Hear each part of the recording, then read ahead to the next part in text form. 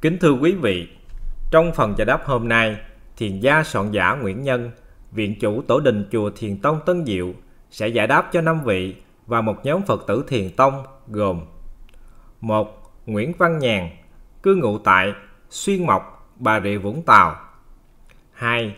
Trần Minh Khánh, cư ngụ tại quận 8 thành phố Hồ Chí Minh 3. La Thị Hoàng Oanh, sinh năm 1990, cư ngụ tại quận 6, thành phố Hồ Chí Minh. 4. Huỳnh Thị Thu Lan, cư ngụ ở Cà Mau. 5. Phùng Thị Thơm, cư ngụ quận Gò Vấp, thành phố Hồ Chí Minh. 6. Nhóm Phật tử Thiền Tông miền Bắc. Đầu tiên là 8 câu hỏi của Nguyễn Văn Nhàn, cư ngụ ở Xuyên Mộc, Bà Rịa Vũng Tàu. Kính thưa bác, thiền gia soạn giả Nguyễn Nhân. Con tên là Nguyễn Văn Nhàn, cư ngụ ở Xuyên Mộc, Bà Rịa Vũng Tàu. Con có nghe bác giải đáp cho chị Hoàng Thị Thu Hồng về các vấn đề liên quan đến bài 24 trong giáo lý đạo Phật khoa học vật lý thiền tông Việt Nam. Con cũng có vài thắc mắc, xin bác giải đáp cho con.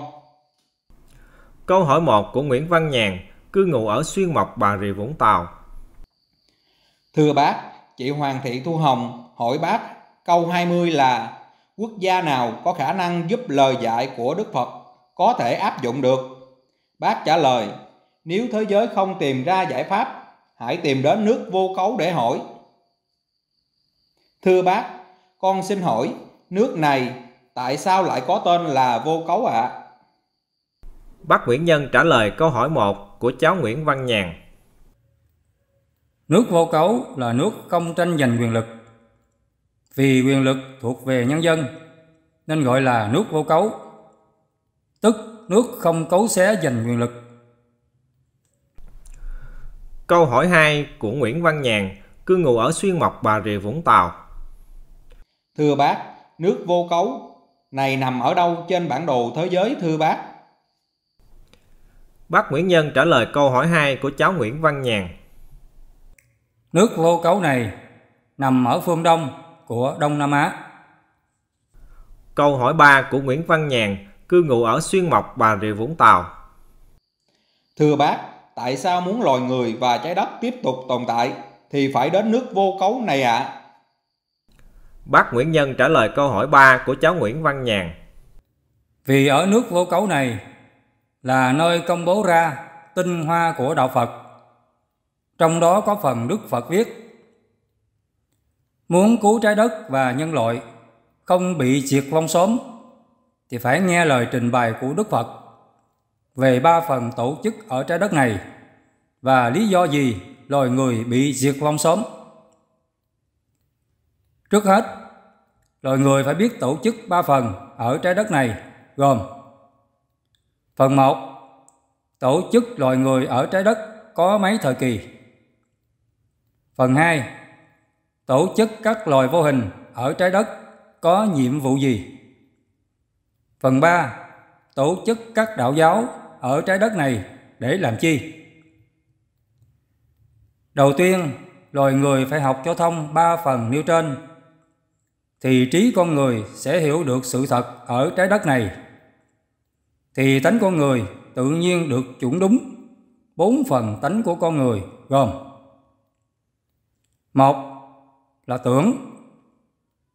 Con người không còn tưởng tượng nữa, thì tánh tưởng của con người được chuẩn lại nhân, nghĩa, lễ, trí, tính. Hai là tham.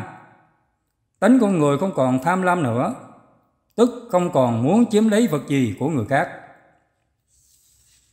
Ba là ác. Tánh con người không còn ác độc nữa, tức không còn muốn hại ai bốn là kiến chấp.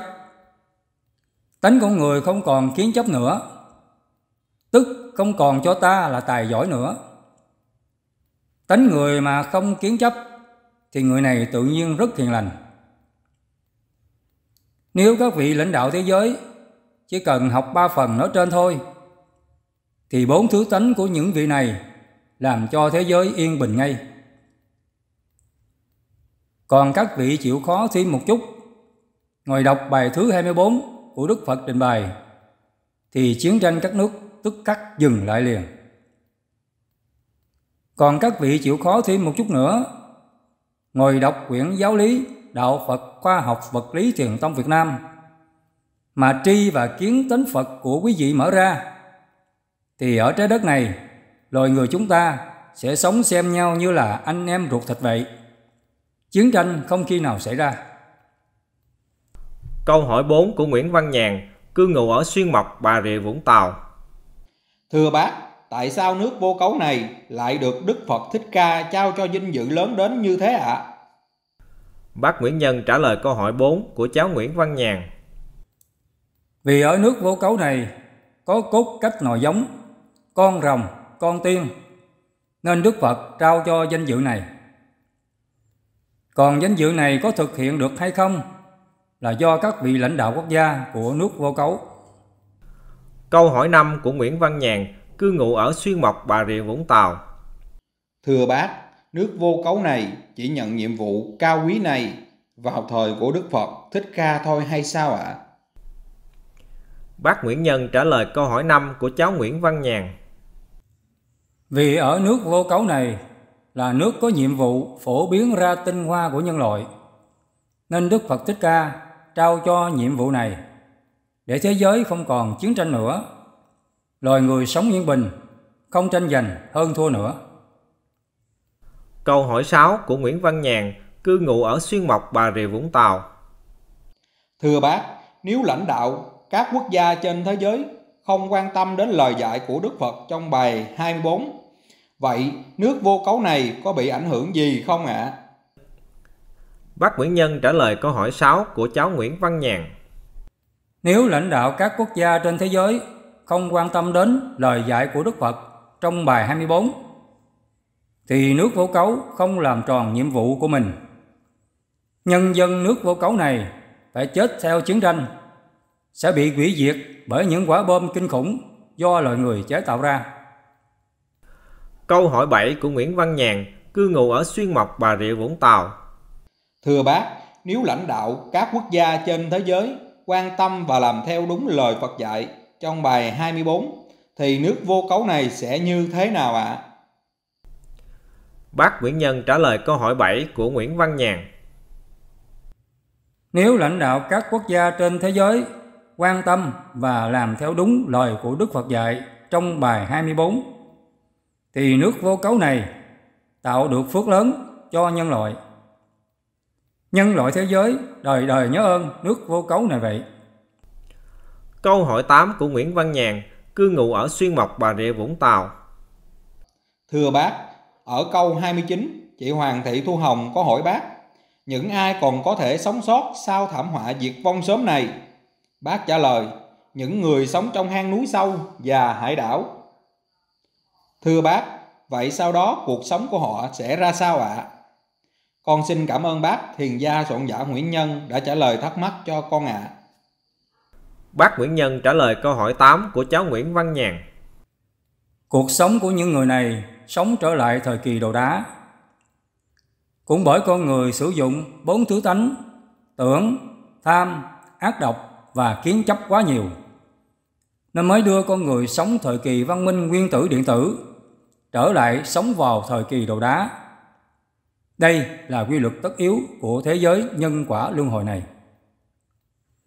Bác Nguyễn Nhân cảm ơn cháu Nguyễn Văn Nhàn, cư ngụ ở Xuyên Mộc, Bà Rịa Vũng Tàu, đã hỏi bác 8 câu rất hay, làm lợi ích cho trái đất và loài người. Bác Nguyễn Nhân Tiếp theo là 7 câu hỏi của Trần Minh Khánh, cư ngụ ở quận 8, thành phố Hồ Chí Minh.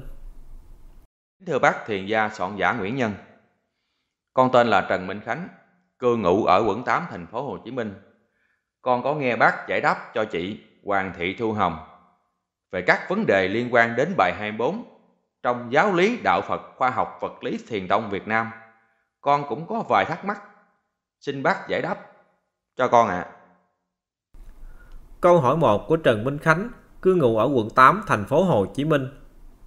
Chị Hoàng Thị Thu Hồng có hỏi câu 26. Cõi vô hình có chi phối đến các cuộc chiến tranh trên thế giới hay không? Bác trả lời, theo lời dạy của Đức Phật, chiến tranh của con người là do nghiệp cõi vô hình điều khiển. Thưa bác, đẳng cấp nào trong cõi vô hình điều khiển để thúc đẩy sự hủy diệt của loài người và trái đất. Lý do gì họ làm như vậy và làm bằng cách nào? Bác Nguyễn Nhân trả lời câu hỏi 1 của Trần Minh Khánh. Đức Phật dạy, điều khiển thân người có sáu tứ tánh, gồm một Tánh Phật, mượn thân và tánh người tạo công đức, mang trở về Phật giới, thành Phật. hai Tánh người, có 16 tứ tánh nhỏ, làm theo sự điều khiển của tánh Phật. ba Tánh thánh, giúp tánh người sống, nhân, nghĩa, lễ, trí tính, đúng tư cách của một con người. 4. Tánh tiên giúp tánh người sống, nhàn hạ, không làm bậy, không tin bậy, để rồi bị nhân quả. 5. Tánh thần theo quản lý thân và tánh người thực thi nhân quả. 6. Tánh ngạ quỷ kè kèo theo thân và tánh người suối làm bậy để tính người không tạo được công đức vào loài ngã quỷ sống để tránh vị thần thực thi nhân quả. Người nào mà sống với tính ngạ quỷ rồi thì chuyên giành giật của người khác, muốn giết người khác, bắt người khác phải quỳ lại mình. Ngạ quỷ nói gì cũng phải nghe theo, vân vân.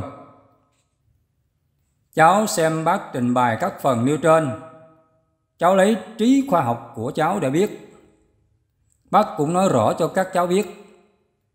Nhiệm vụ của bác là giữ quyển Giáo lý Đạo Phật Khoa học Vật lý Thiền Tông Việt Nam do Đức Phật trao cho Long Nữ, tức người nữ ở đất rồng.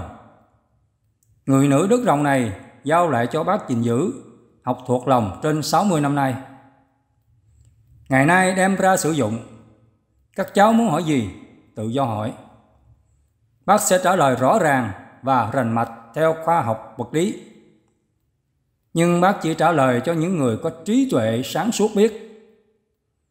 Người nào có tần số điện từ âm dương, mà điện từ dương phải là 10 trên 10 hay 9 trên 10 thì mới tiếp nhận được. Còn những người có tần số điện từ dương từ 8 trên 10 trở xuống, thì hoàn toàn không tiếp nhận được lời của Đức Phật dạy trong bài 24 này. Có khi những người này còn chửi Đức Phật nữa là khác.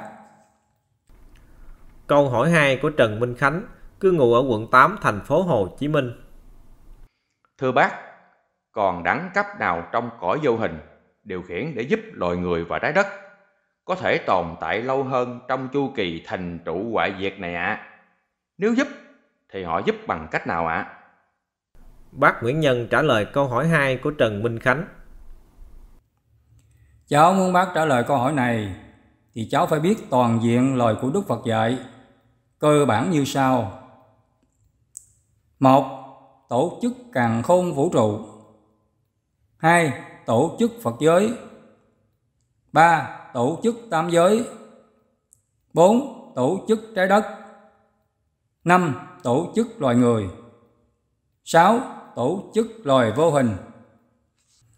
Thì cháu mới biết được những lời hỏi của cháu về đẳng cấp nào trong cõi vô hình điều khiển để giúp loài người và trái đất có thể tồn tại lâu hơn trong chu kỳ thành trụ hoại diệt. Bác sẽ trả lời câu hỏi hai này trong phạm vi câu hỏi. Nơi trái đất này do ban bệ trời túi thiên vương sản xuất ra 10 triệu năm mới xong. Tuổi thọ của trái đất là 10 tỷ năm. Trái đất luân chuyển do sức hút của điện từ âm dương theo chu kỳ thành trụ hoại. Cứ 10.000 năm, loài người đánh nhau chí tử một lần, tiêu diệt sự sống trên trái đất này bằng những vũ khí nguyên tử, hóa chất và vi trùng. Loài người đánh nhau như vậy đúng một triệu lần. Trong ruột trái đất, khí hydro cũng đã cháy hết. Trái đất tự tan rã ra thành bụi không gian, nên gọi là diệt khi ban bệ trời tứ thiên vương lập xong trái đất, ở trái đất có tám loài sống chung. Nhiệm vụ các loài như sau. Thứ nhất, loài người có các nhiệm vụ. một Lập quốc gia. hai Bảo vệ quốc gia. Thứ hai là loài thần.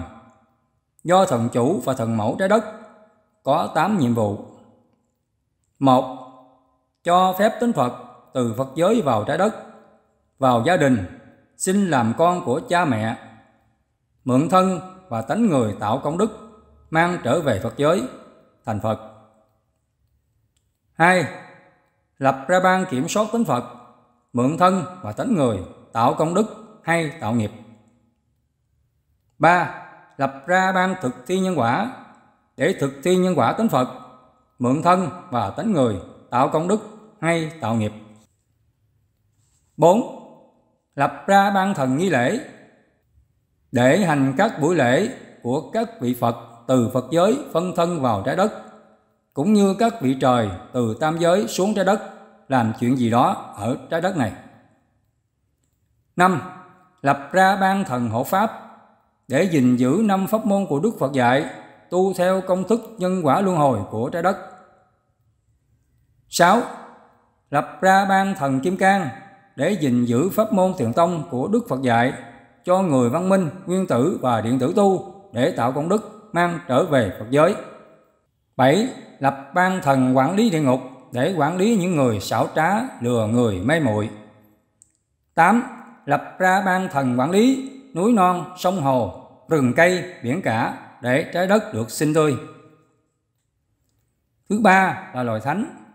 Do thánh chủ và thánh mẫu trái đất có bốn nhiệm vụ. Một, lập ra ban lập ra ba đạo, thần, thánh tiên, để tánh Phật khi mượn thân và tánh người mà phát ra tưởng tượng nhiều quá. Vào một trong ba đạo, thần, thánh tiên này tu, để chờ Ngài vị Phật cho công bố pháp môn giải thoát ra, trở lại mang thân người đến học công thức, tạo công đức trở về Phật giới. hai Lập ra ban quản lý ba đạo, thần thánh tiên để gìn giữ ba đạo này. ba Lập ra ban trợ giúp tánh người cho tánh Phật mượn thân và tánh người tạo công đức, sống trong nhân, nghĩa, lễ, trí tính, để khi tánh Phật mang thân và tánh người không tin bậy và làm bậy mà bị nhân quả phải đi luân hồi không chờ ngài trở về Phật giới được. 4.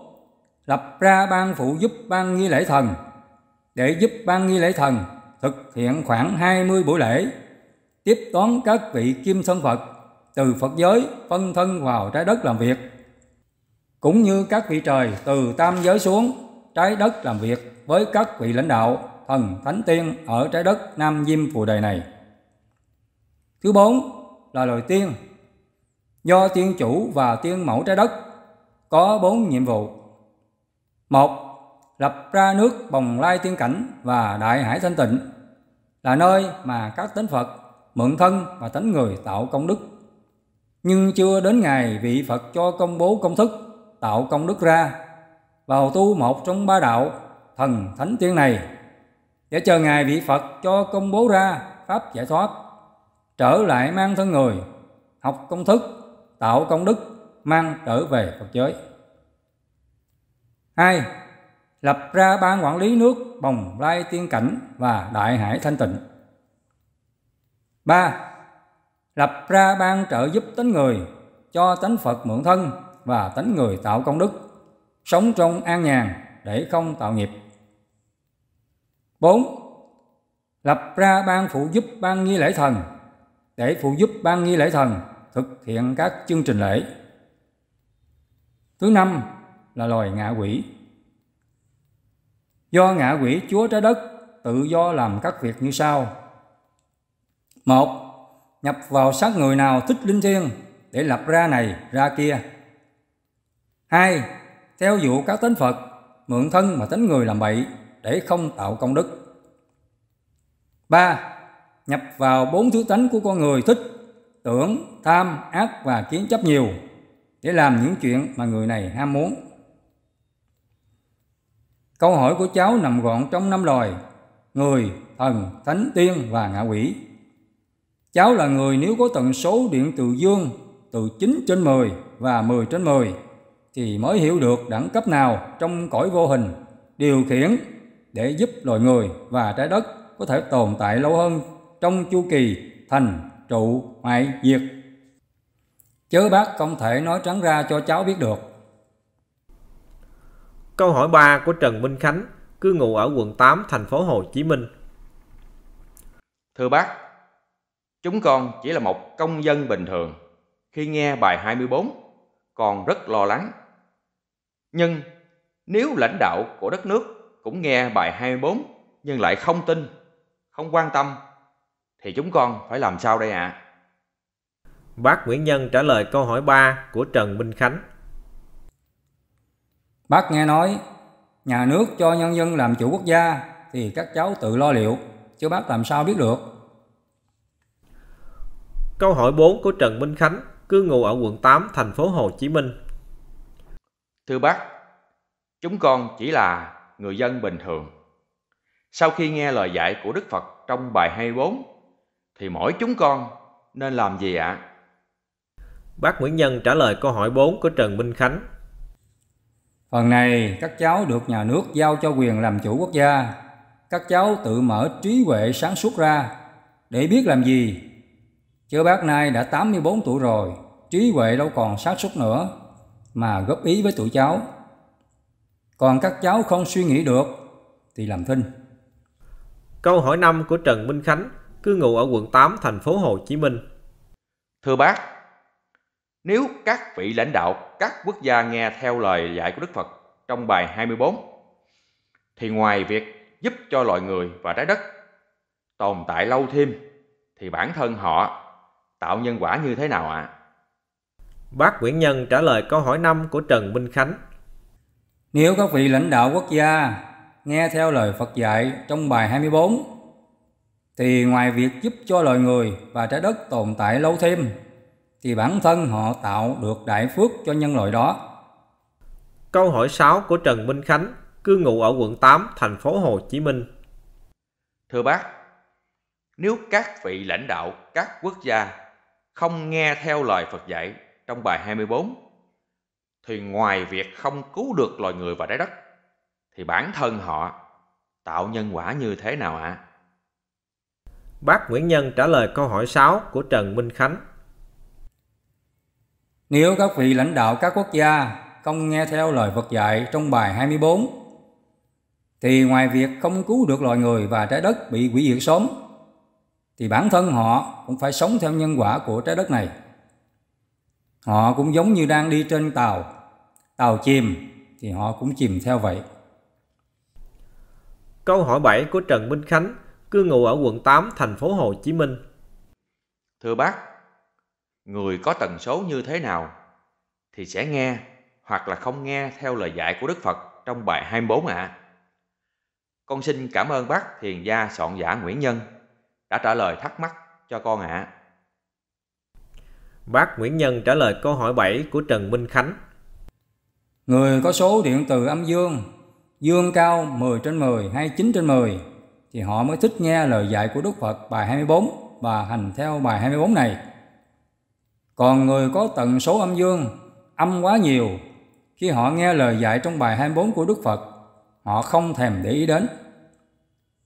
Bác Nguyễn Nhân cảm ơn cháu Trần Minh Khánh, cư ngụ ở quận 8, thành phố Hồ Chí Minh, hỏi bác bảy câu rất hay và bổ ích. Bác Nguyễn Nhân Tiếp theo là 10 câu hỏi của La thị Hoàng Oanh, sinh năm 1990, cư ngụ tại quận 6, thành phố Hồ Chí Minh. Còn tên La Thị Hoàng Oanh, sinh năm 1990, hiện đang cư ngụ tại quận 6, thành phố Hồ Chí Minh. Con có một số thắc mắc về tình hình thời cuộc hiện tại trên thế giới. Mong bác giải đáp giúp cháu và mọi người được biết ạ. À. Xin thành thật cảm ơn bác. Câu hỏi 1 của La Thị Hoàng Oanh, sinh năm 1990, hiện cư ngụ quận 6, thành phố Hồ Chí Minh. Hiện trên mạng xã hội, mọi người đang bàn tán nhau về sự trùng hợp của những con số, cụ thể như sau. Thế chiến thứ nhất khởi đầu ngày 28 tháng 7 năm 1914. Nếu lấy tổng các con số cộng lại sẽ là 28 cộng 7 cộng 19 cộng 14 bằng 68. Tương tự, Thế chiến thứ hai khởi đầu từ ngày 1 tháng 9 năm 1939, lấy tổng các con số là 01 cộng 9 cộng 19 cộng 39 bằng 68. Ngày nước Nga khởi chiến đánh Ukraine ngày 24 tháng 2 năm 2022, lấy tổng các con số là 24 cộng 2 cộng 20 cộng 22 bằng 68.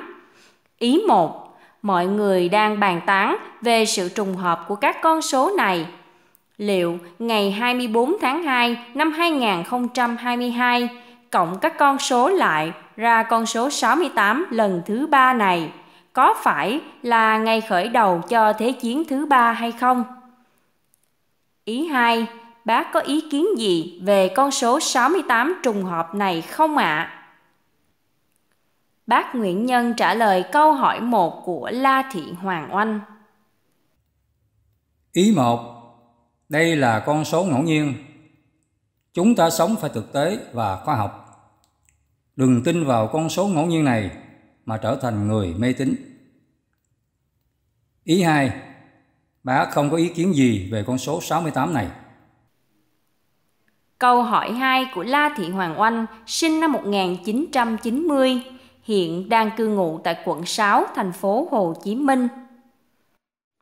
Trong tánh người có 16 thứ, mà bốn tánh nổi trội nhất là tưởng, tham, ác và kiến chấp là nguyên nhân chính gây ra nhân quả luân hồi có phải đang thể hiện ở các cuộc chiến trên thế giới hiện tại này không thưa bác? Bác Nguyễn Nhân trả lời câu hỏi 2 của La Thị Hoàng Oanh. Đúng rồi, tánh con người có 16 thứ. Người nào sử dụng bốn thứ tánh, tưởng, tham, ác và kiến chấp nhiều là sinh ra nhân quả luân hồi. Ở trên trái đất này cũng vì bốn thứ tánh, tưởng, tham, ác và kiến chấp của con người nên gây ra chiến tranh giữa hai nước trong vùng hoặc cả thế giới là do bốn thứ tánh tưởng, tham, ác và kiến chấp của con người. Câu hỏi 3 của La Thị Hoàng Oanh, sinh năm 1990, hiện đang cư ngụ tại quận 6, thành phố Hồ Chí Minh. Một nước lớn đem quân đánh một nước nhỏ hơn. Xin hỏi, đó có phải là quy luật mạnh được, yếu thua được thể hiện trên trái đất này? Hay đây là nhân quả giữa hai nước với nhau thưa bác? Bác Nguyễn Nhân trả lời câu hỏi 3 của La Thị Hoàng Oanh. Quy luật thế gian này mạnh được yếu thua. Đây cũng là luật nhân quả ở trái đất này vậy. Nhưng chủ yếu là tánh tưởng, tham, ác và kiến chấp của tánh con người mà ra. Câu hỏi 4 của La Thị Hoàng Oanh, sinh năm 1990, hiện đang cư ngụ tại quận 6, thành phố Hồ Chí Minh. Đức Phật có báo trước những cuộc đại chiến của nhân loại trong quyển Giáo lý Đạo Phật Khoa học Vật lý Thiền Tông không ạ? À? Bác Nguyễn Nhân trả lời câu hỏi 4 của La Thị Hoàng Oanh. Trong quyển giáo lý Đạo Phật Khoa học Vật lý Thiền Tông Việt Nam, Đức Phật chỉ nói cho loài người biết về quy luật thành trụ hoại diệt của trái đất này mà thôi. Chứ Đức Phật không nói đại chiến giữa các nước. Đức Phật chỉ nhắc nhở con người là đồng loại với nhau, đừng sử dụng tánh ác của tánh người mà bắn giết nhau, rồi con người sẽ đi đến cùng hủy diệt nhau. Câu hỏi 5 của La Thị Hoàng Oanh sinh năm 1990, hiện đang cư ngụ tại quận 6, thành phố Hồ Chí Minh. Ý 1. Đức Phật có chỉ dẫn phương cách nào để cứu vãn cuộc chiến hiện tại giữa Nga và Ukraine để không trở thành thế chiến thứ ba không thưa bác? Bác Nguyễn Nhân trả lời ý 1, câu hỏi 5 của La Thị Hoàng Oanh. Ý 1. Đức Phật có nói tìm phương cách nào để không chiến tranh, chứ Đức Phật không có nói cuộc chiến giữa Nga và Ukraine. Nếu loài người sợ chiến tranh hủy diệt, thì loài người hãy nghe lời chỉ dẫn của Đức Phật có nêu rõ trong quyển giáo lý Đạo Phật Khoa học Vật lý Thiền Tông Việt Nam. Nếu loại người nghe mà thực hiện đúng lời của Đức Phật trình bày và hướng dẫn, thì trái đất này là thiên đàng trần gian này vậy. Ý 2. Giả sử Thế chiến thế giới thứ ba xảy ra, với các loại vũ khí tối tân mà các quốc gia đang sở hữu hiện tại như vũ khí hạt nhân, bom nguyên tử, vũ khí sinh học, vũ khí hóa học, vân vân, có thể gây hủy diệt hàng loạt sự sống trong tích tắc. Vậy, nếu các quốc gia dùng những loại vũ khí này cho Thế chiến thứ ba, thì trái đất sẽ ra sao ạ? À? Bác Nguyễn Nhân trả lời ý 2 câu hỏi 5 của La Thị Hoàng Oanh. Khi Thế chiến thứ ba nổ ra, thì người dân trên trái đất này đều chết hết. Vua, chúa, quan dân gì cũng chết theo. Tiền thì thành tro, vàng thì chảy thành cục, nhà cửa thì cũng thành đống gạch vụn. Bác tin rằng Thế chiến thứ ba khó xảy ra lắm. Vì sao? Bác đưa cụ thể như sau. một Năm 1945, Mỹ thả hai trái bom nguyên tử xuống hai thành phố Hiroshima và Nagasaki của nước Nhật. Sức nóng của quả bom nguyên tử lên đến 4.000 độ C. Bán kính hủy diệt là 2 km. Sức nổ của mỗi quả bom tương đương 1.000 tấn thuốc nổ TNT. 2.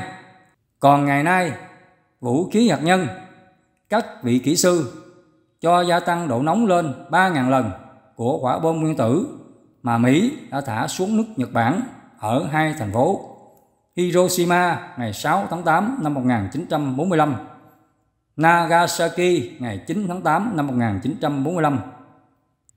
Có nghĩa là sức nóng của quả bom hạt nhân hiện nay là 12 triệu độ. Bán kính hủy diệt là 60 km. Bác xem trên mạng, số bom hạt nhân mà các nước đang có gồm Nước Nga có 1.600 quả, nước Mỹ có 1.800 quả, nước Pháp có 280 quả, nước Trung Quốc có 280 quả, nước Ấn Độ có 160 quả, nước Pakistan có 160 quả, nước Israel có 90 quả, nước Triều Tiên có 45 quả. Trên đây chỉ là phổ biến của các nước trên mạng. Chứ sự thật không phải như vậy. Vừa rồi có vị lãnh đạo cao của nước nào đó công khai nói rằng nước Nga có trên 5.000 quả bom nguyên tử, nước Mỹ cũng có trên 5.000 quả bom nguyên tử. Nếu Thế chiến thứ ba mà các nước mang bom hạt nhân ra sử dụng hết, thì trái đất này sẽ trở lại thành đồ đá ngay. Vì vậy, các vị lãnh đạo thế giới không dạy gì mà mở chiến tranh thế giới thứ ba để rồi tự mình giết mình, giết cả cha, mẹ, ông bà, con cháu mình nữa. Vì vậy, thế chiến thứ ba khó mà xảy ra lắm.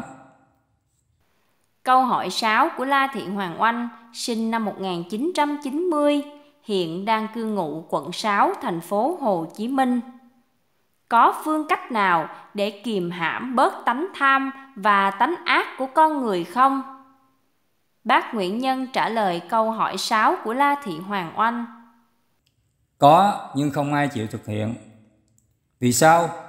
Thì ai cũng kiến chấp cho ta là tài giỏi nhất. Người mà muốn bỏ cái ta, cái tôi thì phải tìm học cho thuộc sáu phần như sau. Tự nhiên sẽ bỏ cái tôi và cái ta sẽ biến mất ngay.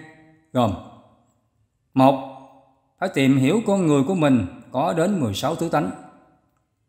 Hai, trong 16 thứ tánh của mình có bốn thứ tánh tưởng, tham, ác và kiến chấp. Mình không nên sử dụng bốn tính này quá mức của nó. ba, Phải học và hiểu cho thật rõ cõi vô hình và nhiệm vụ của các loài này là gì. 4. Phải học và hiểu cho thật rõ các đạo ở trái đất này lập ra để làm chi. 5. Phải học và hiểu cho thật rõ tổ chức trái đất này như thế nào. 6. Phải học và hiểu cho thật rõ tổ chức của hệ mặt trời ra sao. Các vị lãnh đạo cao mà hiểu được sáu cơ bản nêu trên thì không cần kìm hãm tánh tưởng tham ác và kiếm chấp của mình mà tự nhiên các tính này chìm mất thì trái đất này sẽ an ổn ngay. Không cần kiềm hãm các tính tưởng, tham, ác và kiếm chấp của mình làm chi. Câu hỏi 7 của La Thiện Hoàng Oanh, sinh năm 1990, hiện đang cư ngụ quận 6, thành phố Hồ Chí Minh. Trong bài 24, trích trong quyển Giáo lý Đạo Phật Khoa học Vật lý Thiền Tông Việt Nam có đoạn viết Loài người phải xóa bỏ cách sống theo trí óc của người thời kỳ đồ đồng. Lãnh đạo của mỗi quốc gia phải tổ chức theo người thời văn minh, nguyên tử, điện tử, dẹp đi cai trị, chấp ngã của người thời kỳ đồ đồng. Xin bác giải thích rõ hơn về câu lãnh đạo của mỗi quốc gia phải tổ chức theo người thời văn minh, nguyên tử, điện tử là tổ chức sao ạ? À? Bác Nguyễn Nhân trả lời câu hỏi 7 của La Thị Hoàng Oanh. Câu này bác không cần giải thích. Vì sao? Vì các vị ai cũng học cao hiểu rộng. Bác chỉ là người học chưa đầy lá mít, ít hơn lá me, thì bác làm sao giải thích đúng được. Thôi, cháu bỏ câu hỏi này đi. Còn nếu các vị lãnh đạo của mỗi quốc gia muốn biết tổ chức theo người thời văn minh, nguyên tử, điện tử mà Đức Phật có trình bày ra nơi quyển giáo lý Đạo Phật Khoa học Vật lý Thiền Tông Việt Nam thì vị nào đó có quyền cho xuất bản quyển giáo lý Đạo Phật Khoa học Vật lý Thiền Tông này ra thì sẽ biết tổ chức lãnh đạo của mỗi quốc gia theo người thời văn minh, nguyên tử, điện tử như thế nào liền. Nếu các vị lãnh đạo các quốc gia trên thế giới triệt để áp dụng bài 24 của Đức Phật trình bày nơi quyển Giáo lý Đạo Phật Khoa học Vật lý Thiền Tông Việt Nam thì các nhà lãnh đạo các quốc gia sẽ hết chuyện bàn cãi nhau như hiện nay. Các vị có thời gian đi thăm nước này, nước kia xem như là bạn hết. Câu hỏi 8 của La Thị Hoàng Oanh, sinh năm 1990, hiện đang cư ngụ quận 6, thành phố Hồ Chí Minh. Về tổ chức quân sự của mỗi quốc gia phải tổ chức theo người thời văn minh, nguyên tử, điện tử, dẹp đi tổ chức quân sự theo thời kỳ đồ đồng là sao ạ? À? Xin bác có thể giải thích rõ hơn câu này để mọi người cùng hiểu ạ. À. Bác Nguyễn Nhân trả lời câu hỏi 8 của La Thiện Hoàng Oanh. Về tổ chức quân sự của mỗi quốc gia theo người thời văn minh, nguyên tử, điện tử. Phần này Đức Phật có trình bày rất rõ nơi bài 24 của quyển Giáo lý Đạo Phật Khoa học Vật lý Thiền Tông Việt Nam. Khi sách được xuất bản ra, ai đọc được quyển Giáo lý Đạo Phật Khoa học Vật lý truyền thông Việt Nam đều biết rõ như ban ngày. Câu hỏi chính của La Thị Hoàng Oanh, sinh năm 1990, hiện đang cư ngụ quận 6, thành phố Hồ Chí Minh. Còn về tổ chức theo đạo giáo của mỗi quốc gia, phải tổ chức theo người thời văn minh, nguyên tử, điện tử là tổ chức thế nào ạ? À? Bác Nguyễn Nhân trả lời câu hỏi chính của La Thị Hoàng Oanh. Câu này cháu cũng phải tìm những vị sau đây hỏi. Thì các vị này sẽ dạy cho. Gồm, một, các vị có bằng tiến sĩ Phật học. Hai, các vị có bằng tiến sĩ thần học. Ba, các vị có bằng tiến sĩ thánh học. Bốn, các vị là hòa thượng thiền sư. Năm, các vị tu hành chứng quả thánh a la hán. Sáu các vị là giảng sư các ngành nghề có danh tiếng bảy các vị tu hành đắc đạo thấy được cõi âm, vân vân. Cháu hỏi là đúng nhất. Còn bác học chưa đầy lá mít, ít hơn lá me, làm sao bác trả lời cho cháu biết được? Câu hỏi 10 của La Thị Hoàng Oanh, sinh năm 1990, hiện đang cư ngụ tại quận 6, thành phố Hồ Chí Minh. Kế đến là tổ chức dân sinh sao cho văn minh, nguyên tử, điện tử là tổ chức thế nào ạ? À? Bác Nguyễn Nhân trả lời câu hỏi 10 của La Thị Hoàng Oanh. Tổ chức dân sinh cho người văn minh, nguyên tử, điện tử thì cháu cũng phải hỏi những vị chuyên ngành về nhà ở là phải. Bác Nguyễn Nhân cảm ơn 10 câu hỏi của cháu La Thị Hoàng Oanh ở quận 6, thành phố Hồ Chí Minh. Cháu hỏi rất hay và bổ ích. Bạn Nguyễn Nhân. Tiếp theo là 10 câu hỏi của Quỳnh Thị Thu Lan ở Cà Mau. Thưa chú, các bằng chứng khoa học cho thấy rằng có một lò phản ứng hạt nhân tại Ologapon là công trình do con người tạo nên từ 2 tỷ năm trước. Phương thức hoạt động kỳ lạ và phương pháp xử lý chất thải của nó khiến các nhà khoa học đương thời phải khâm phục. So với lò phản ứng hạt nhân khổng lồ này, thì lò phản ứng hạt nhân lớn nhất mà nhân loại có thể xây dựng ngày nay cũng không thể so sánh được.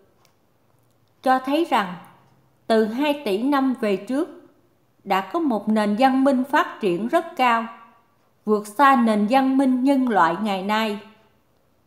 Chú cho con hỏi. Câu hỏi 1 của Quỳnh Thị Thu Lan, cư ngụ Cà Mau. Đỉnh cao của nền văn minh trong mỗi chu kỳ 10.000 năm của trái đất như nhau không? Chú Nguyễn Nhân trả lời câu hỏi 1 của Quỳnh Thị Thu Lan. Loài người sống trên trái đất này cứ chu kỳ 10.000 năm đánh nhau tự hủy diệt nhau. Đây là theo quy luật chu kỳ thành trụ hoại. Đúng một triệu lần là trái đất bị tan rã gọi là diệt. Không cách nào thoát ra quy luật này. Còn lò phản ứng hạt nhân tại Oslo của nước Cộng hòa Carbon, Phi Châu đây là lò phản ứng hạt nhân của các vị kỹ sư người Đức xây dựng vào năm 1903. Khi các nước văn minh, khoa học, công nghiệp phương Tây rầm rộ tổ chức đi chiếm các nước thuộc địa.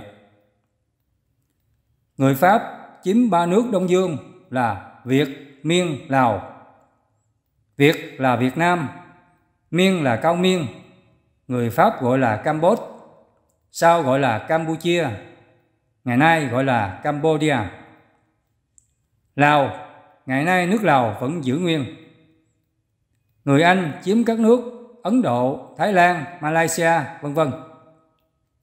Người Đức chiếm các nước phía Châu, trong đó có nước Cộng hòa Carbon. Các kỹ sư người Đức mới xây dựng núi Urani, một lò phản ứng hạt nhân để lấy chất uranium đem về nước Đức chế tạo ra bom nguyên tử. Họ sản xuất ra được rất nhiều quả bom nguyên tử này. Khi con người bắt đầu tiến vào thời kỳ văn minh, khoa học vật lý cao, cũng là lúc bốn thứ tánh, tưởng, tham, ác và kiến chấp của con người bắt đầu nổi lên thật mạnh. Do đó, năm 1938, những vị lãnh đạo các quốc gia trên thế giới, nước nào có nền văn minh, khoa học, vật lý cao họ chia ra làm hai phe phe thứ nhất gồm có các nước nhật đức ý phe thứ hai gồm có các nước nga tàu anh mỹ mở ra thế chiến thứ hai vào ngày 1 tháng 9 năm 1939. Nga và Mỹ đánh nước Đức. Hai nước Nga và Mỹ bắt toàn bộ kỹ sư của người Đức và mỗi nước tịch thu được mấy chục quả bom nguyên tử. Đến năm 1945, nước Đức và nước Ý đầu hàng. Còn riêng nước Nhật thì không đầu hàng. Do đó, Mỹ mới sử dụng máy bay thả hai quả bom nguyên tử xuống nước Nhật. Nước Nhật mới chịu đầu hàng. Quả thứ nhất, Mỹ thả xuống thành phố Hiroshima ngày 6 tháng 8 năm 1945. Quả thứ hai, Mỹ thả xuống thành phố Nagasaki ngày 9 tháng 8 năm 1945. Mỹ lấy hai quả bom nguyên tử thả xuống nước Nhật là của nước Đức sản xuất. Nhiên liệu là uranium lấy từ lò phản ứng hạt nhân ở Oslo, nước Cộng hòa Gabon, Phi Châu. Lò phản ứng hạt nhân này được người Đức xây dựng cách năm 2022 là 119 năm, chứ làm gì có chuyện 2 tỷ năm. Người ta không nghiên cứu kỹ lịch sử nên mới nói là lò phản ứng hạt nhân ở Oslo, nước Cộng hòa Gabon, Phi Châu có cách đây là 2 tỷ năm. Người nào nói lò phản ứng hạt nhân ở Oslo, nước Cộng hòa Carbon Phi Châu có cách đây là 2 tỷ năm thì người này không biết hai phần như sau. Một, không biết tổ chức trái đất này như thế nào. Hai, họ không biết thành trụ ngoại diệt của trái đất nên họ mới tưởng tượng ra nói vậy. Câu hỏi 2 của Quỳnh Thị Thu Lan, cư ngụ Cà Mau. Đến giai đoạn nào các nhà khoa học có thể giải mã được những bí ẩn của nhiều công trình khoa học cổ đại như kim tự tháp và nhà máy hạt nhân 2 tỷ năm trước ở Conlogabon. Chú Nguyễn Nhân trả lời câu hỏi 2 của Quỳnh Thị Thu Lan. Các nhà khoa học hiện nay họ biết tất cả những kiến trúc của kim tự tháp của Oslo Carbon. Chỉ có những người có đầu óc tưởng tượng, họ tưởng tượng ra những chuyện thần thánh quá về kim tự tháp của nước Ai Cập, về lò phản ứng hạt nhân Oslo của nước Cộng hòa Gabon, về đền Angkor Wat, Angkor Thom của nước Campuchia là do con người thực hiện như vạn lý trường thành của nước Trung Quốc vậy thôi chớ di tích nào cũng có lịch sử hết. Cháu qua nước Campuchia, đến hai đền Angkor Wat và Angkor Thom, thành phố Siem Reap. Người dân Việt Nam gọi là Đế Thiên Đế Thích, tức đền thờ vua trời và vua sải. Sự thật hai đền này người ta xây dựng để thờ hai vị thần. Một là vị thần Vishnu, hai là vị thần Hindu. Hai đền này bắt đầu xây dựng từ năm 1123 đến năm 1150 để thờ hai vị thần Vishnu và vị thần Hindu. Đá xây dựng lấy từ núi Hồng cách thành phố Siem Reap 30 km. Mỗi viên đá đều có đục một cái lỗ để voi kéo đi đến đền Angkor Wat. Người ta đưa viên đá lên cao bằng cách nào? Bằng cách là người ta đào xung quanh đền ăn Angkor Wat một cái mương. Lấy đất từ đây để đắp từ từ lên, cho voi kéo viên đá lên cao. Khi đền ăn Angkor Wat xây dựng xong, người ta kéo ra sau cũng để xây dựng đền ăn co Thom. Những người tin thần thánh, thích linh thiêng, họ nói hai công trình này là của mấy ngày linh thiêng phù phép xây lên. Vì sao người ta tưởng tượng như vậy? Vì những người này trong người họ có điện từ âm quá nhiều nên họ mới nói như vậy. Đức Phật dạy, những người trong người họ điện từ âm nhiều thì rất thích tưởng tượng về linh thiêng. Nên đạo nào linh thiêng là họ nhào vô tu, cúng lại cầu xin, vân vân. Câu hỏi 3 của Quỳnh Thị Thu Lan, cư ngụ Cà Mau. Vì sao để tinh luyện uranium hexafluoride UF6, các nhà khoa học phát hiện hàm lượng đồng vị uranium 235 chỉ là 0,717%, thay vì hàm lượng trong tự nhiên là 0,720% ạ. À. Thưa chú,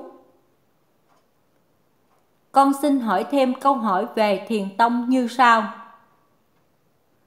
Những người kiến chấp cứng sẽ trải qua thời gian bao lâu mới phá vỡ được. Người kiến chấp cứng cần phải làm gì để nâng tần số của mình lên? Trong giới hạn một đời người ạ à, thưa chú. Chú Nguyễn Nhân trả lời câu hỏi 3 của Quỳnh Thị Thu Lan. Uranium có nhiều loại cũng như vàng vậy sắt cũng vậy. Mình không phải nghề này chỉ biết cơ bản vậy thôi.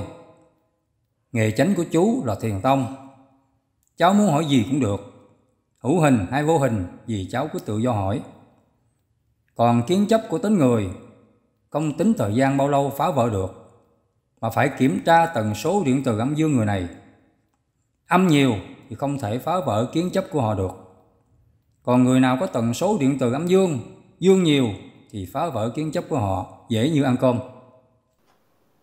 Câu hỏi 4 của Quỳnh Thị Thu Lan, cư ngụ Cà Mau.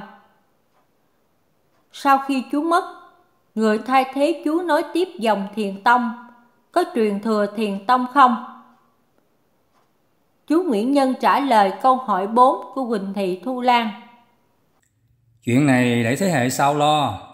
Chú không phải là nhà tiên tri làm gì mà biết được. Nếu chú biết được thì trở thành nhà tiên tri Mohammed rồi. Thì mất đi chất thiền tông. Thiền tông chẳng luận chẳng bàn, chẳng đoán biết trước thành người thế gian. Thiền tông chỉ nói rõ ràng, lo tạo công đức, học đàn về quê.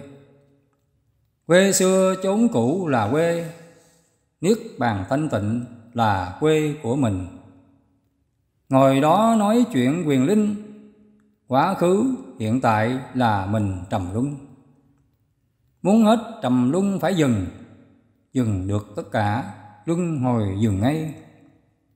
Thiền tông chỉ dạy cho ai, ham muốn giải thoát, tu ngay thiền này. Câu hỏi năm của Quỳnh Thị Thu Lan, cư ngụ Cà Mau. Sau khi chú mất, người muốn được truyền thừa thiền tông cần có những tiêu chuẩn gì? Người có nhiệm vụ nói tiếp dòng thiền quyết định chọn người để truyền thừa, hay là người muốn được truyền thừa, làm đơn xin được truyền thừa, thưa chú? Chú Nguyễn Nhân trả lời câu hỏi năm của Quỳnh Thị Thu Lan. Cháu tưởng chú là tiên tri, cái gì cũng biết, còn chi tánh người. Tánh người chỉ biết hiện thời, đói ăn, mệt ngủ, tánh người là đây. Ngồi đó nói chuyện trên mây là bị nhân quả kéo thay luân hồi. Thiền tông là tu chữ thôi, thôi bàn, thôi luận, thôi luôn nói sàm.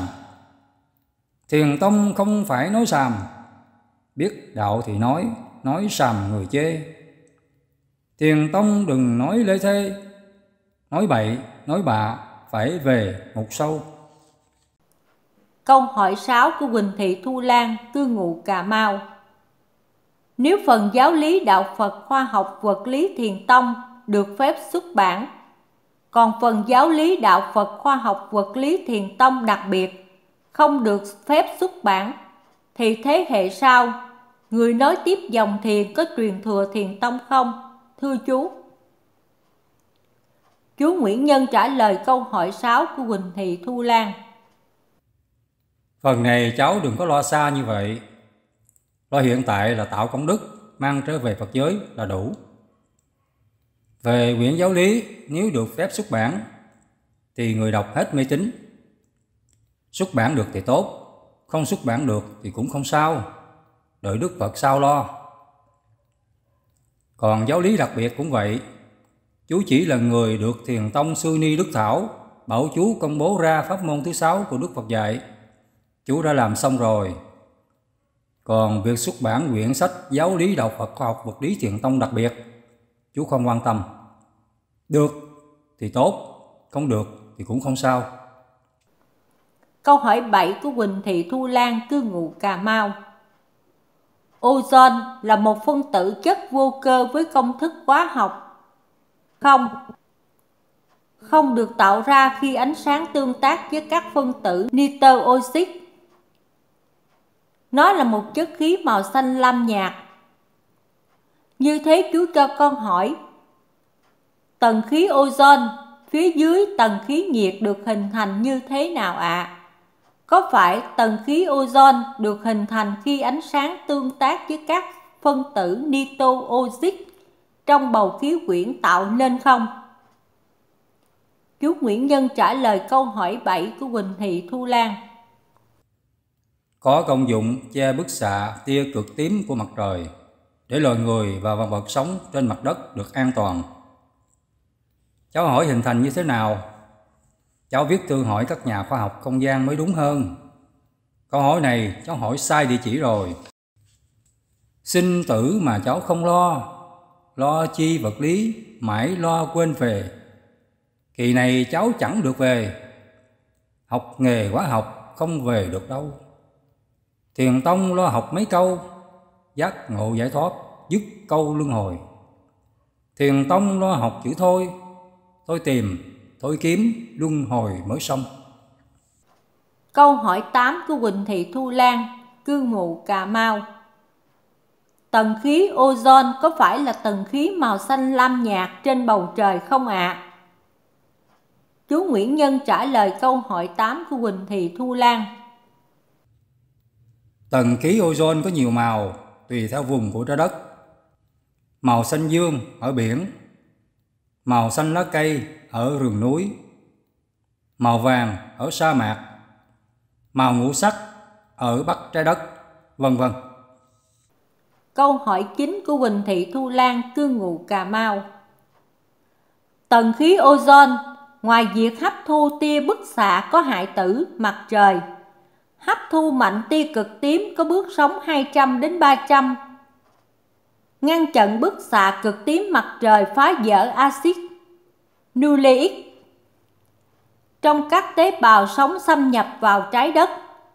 Còn có tính năng nào khác nữa không à, thưa chú?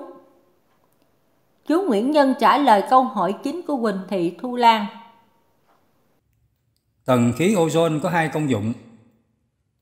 Một là che bức xạ tia cực tím của mặt trời.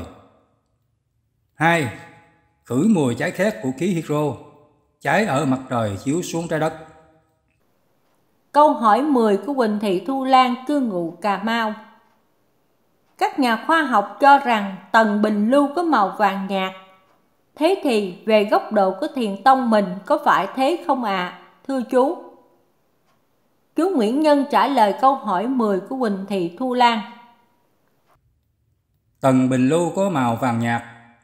Nó phù hợp cho các vị Phật phân thân đến ngự, cũng như các vị ở cõi trời đến dừng chân để vào trái đất. Chú Nhân cảm ơn cháu hỏi. Tiếp theo là năm câu hỏi của Phùng Thị Thơm cư ngụ ở quận Gò Vấp, thành phố Hồ Chí Minh. Kính thưa bác Nguyễn Nhân, con tên là Phùng Thị Thơm, cư ngụ ở quận Gò Vấp, thành phố Hồ Chí Minh. Con có một số câu hỏi như sau. Xin bác giải đáp giúp con. Con xin cảm ơn bác nhiều ạ. À.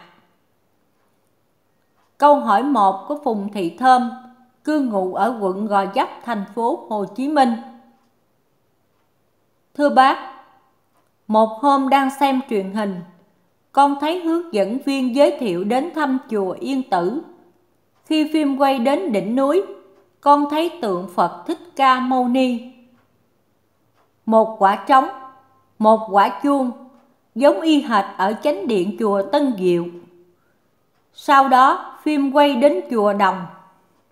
Khi nhìn thấy chùa, con thấy rất gần gũi, thân thương, tự dưng con khóc, khóc rất nhiều, rất lâu. Thưa bác, xin bác giải thích cho con, vì sao con lại có cảm xúc mãnh liệt như vậy? Bác Nguyễn Nhân trả lời câu hỏi một của Phùng Thị Thơm. Cháu phải biết hai phần. Một, núi Yên Tử là nơi Đức vua Trần Nhân Tông khai lập ra đạo Phật Thiền Tông Việt Nam. Khi Đức vua ngộ đạo Phật Thiền Tông, chùa Thiền Tông Tân Diệu là nơi nối tiếp dòng Thiền Tông của Trúc Lâm Yên Tử. Nên chùa Thiền Tông Tân Diệu lấy theo mẫu của Đức vua Trần Nhân Tông mà trang trí chùa Thiền Tông Tân Diệu như Trúc Lâm Yên Tử để đúng với bản gốc của những vị tổ Thiền Tông. Hai, Chùa Thiền Tông Tân Diệu có trình bày về sự tích của chùa Đồng mà Đức vua Trần Nhân Tông cất ra để dạy ông quan văn hóa về sự ngộ thiền tông của Đức vua. Khi cháu nhìn thấy quan cảnh chùa Trúc Lâm Yên Tử, cháu thấy rất gần gũi, thân thương, tự dưng cháu khóc cháu khóc rất nhiều rất lâu là cháu đó có cảm ngộ đạo Phật Tiền Tông rồi đó. Cảnh xưa nay thấy lại rồi, Trúc Lâm Yên Tử sáng ngời Thiền Tông. Thiền Tông nay phổ núi sông, hồn thiên dân Việt, cha ông lưu truyền. Thiền Tông loan tỏa ba miền, con hồng, cháu lạc, lưu truyền Thiền Tông. Thiền Tông làm dậy núi sông, Việt Nam là nước phổ thiền khắp nơi. Năm châu bốn biển hiểu thời, Thích ca toàn giác, để đòi thiền tông thiền tông xóa sạch tà tông để cho dân việt hết không tin lầm Câu hỏi 2 của Phùng Thị Thơm, cư ngụ ở quận Gò Vấp, thành phố Hồ Chí Minh. Thưa bác, cũng trong đêm đó, khi đang ngủ, bỗng dưng con nghe một tiếng nổ ầm bên tai, làm con giật mình thức giấc và cứ nghe văn giảng bài chú Đại Bi. Xin bác giải thích hiện tượng này giúp con. Bác Nguyễn Nhân trả lời câu hỏi 2 của Phùng Thị Thơm. Hiện tượng này cháu được vị thần quản lý cháu. Chúc mừng cháu đó. Câu hỏi 3 của Phùng Thị Thơm, cư ngụ ở quận Gò Vấp, thành phố Hồ Chí Minh. Thưa bác, trước khi ngủ, con hay mở 36 vị tổ và các giải đáp của bác để nghe. Một hôm, con nghe giải đáp của bác về cõi cô hồn. Sau đó, con nằm mơ thấy hình ảnh ma quỷ rất đáng sợ. Hôm khác, lại nằm mơ thấy người thân đã quá cố. Hình ảnh cứ như lúc họ còn sống. Thưa bác, những hiện tượng như vậy có ảnh hưởng đến việc tu học thiền tông của con không ạ? À? Bác Nguyễn Nhân trả lời câu hỏi ba của Phùng Thị Thơm. Những người đã ngộ thiền thì loài cô hồn rất ghét. Nó làm vậy để cháu sợ. Khi cháu ngộ thiền tông rồi thì những chuyện ma quỷ là trò đùa của cháu thôi. Những người thân của cháu họ đã trở lại tu thiền tông rồi đó. Những hiện tượng ma quỷ không làm gì được cháu, không ảnh hưởng gì hết. Câu hỏi 4 của Phùng Thị Thơm, cư ngụ ở quận Gò Vấp, thành phố Hồ Chí Minh. Thưa bác, trong một gia đình có người anh chết hôm 27 tháng Chạp, người em chết vào mùng 1 Tết. Vậy có phải đó là chết trùng không ạ? À?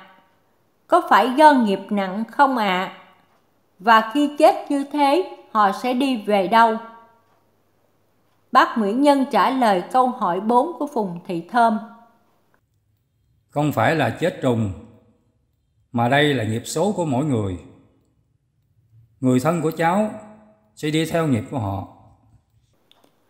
Câu hỏi 5 của Phùng Thị Thơm, cư ngụ ở quận Gò Vấp, thành phố Hồ Chí Minh.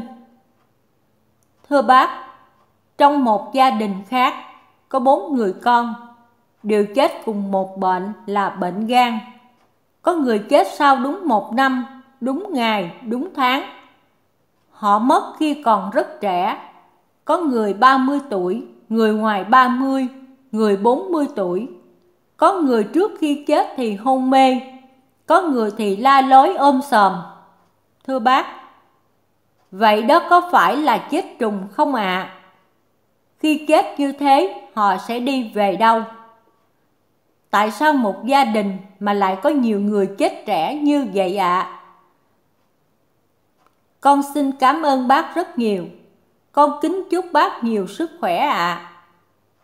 Bác Nguyễn Nhân trả lời câu hỏi năm của Phùng Thị Thơm. Tất cả những người sống ở thế gian này đều sống chết theo nghiệp của họ.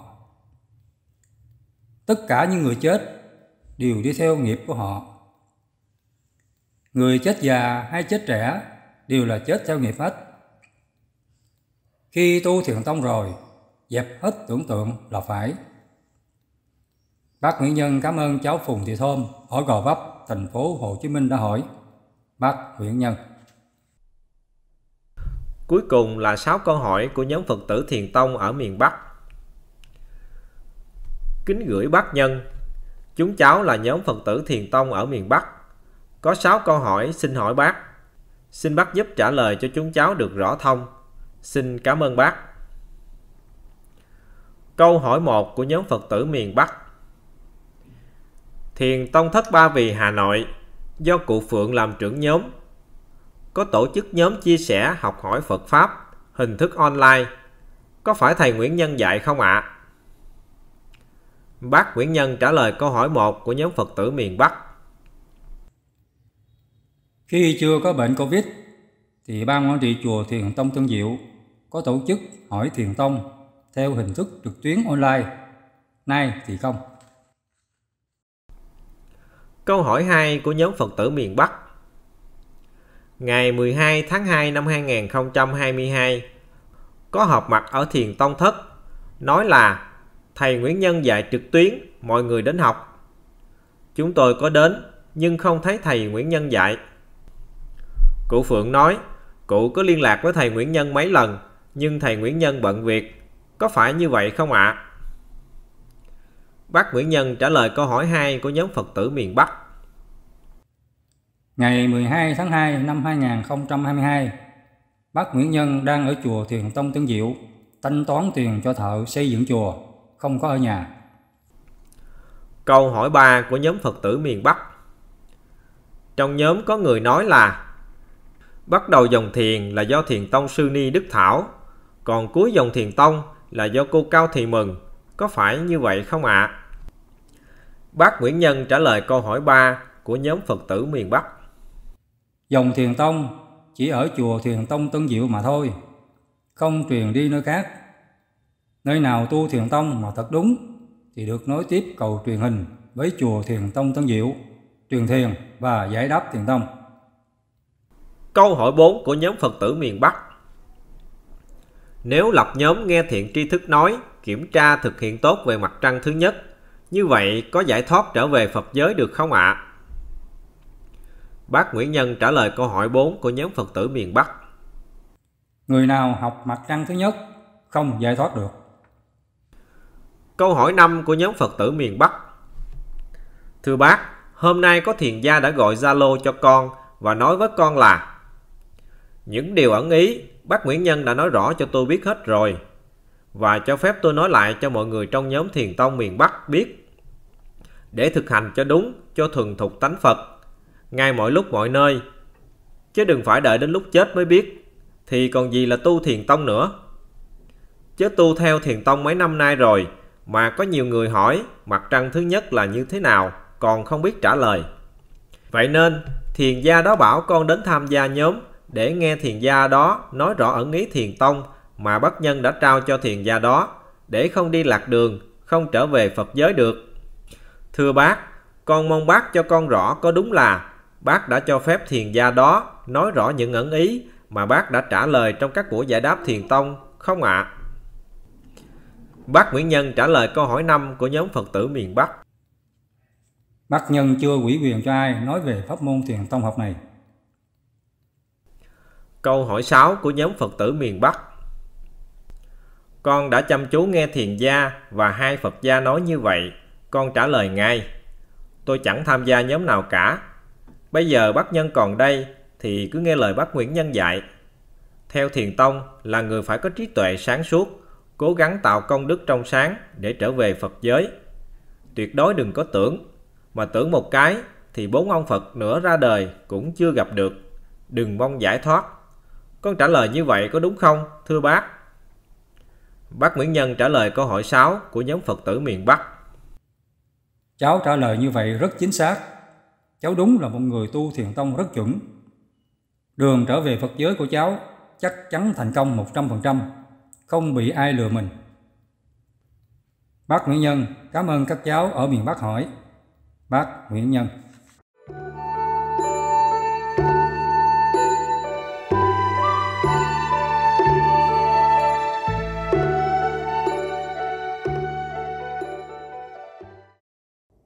Nếu độc giả nào có thắc mắc về pháp môn thiền tông học này, thì gửi Zalo cho một trong hai số điện thoại sau. Số điện thoại 1 0979 132 855 nhận câu hỏi thiền tông 1. Số điện thoại 2 0878 912 953 nhận câu hỏi thiền tông 2 hoặc gửi câu hỏi qua email về địa chỉ thiền tông 2013 a gmail.com Về phần câu hỏi, xin độc giả vui lòng thực hiện các phần như sau. một Câu hỏi ngắn gọn, hỏi về pháp môn thiền tông học này. 2. Xin nêu tên và tuổi, địa chỉ, số điện thoại liên lạc rõ ràng. 3. Kèm theo tấm ảnh màu 4 x 6 cm. 4. Những câu hỏi hay được ban quản trị chùa Thiền Tông Tân Diệu cho phát lên mạng thiền tông.com để nhiều người biết. Ban quản trị chùa Thiền Tông Tân Diệu